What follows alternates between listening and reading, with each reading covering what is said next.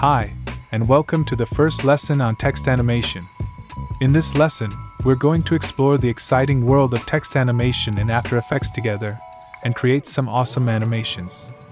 Our focus will be on creating two different scenes, with the first two titles in the first scene and the two 3D titles in the second scene.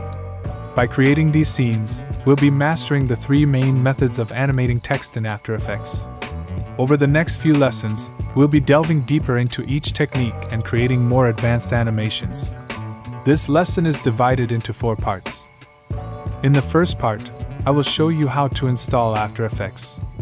Then we'll create the main folder for the course and learn how to work in an organized manner for motion design projects.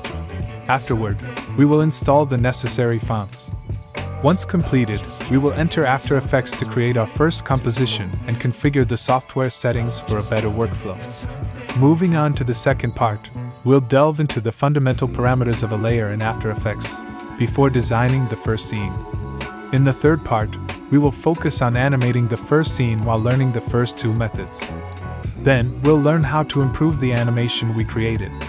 In the fourth and final part, we will create the second scene and convert a regular layer into a 3D layer.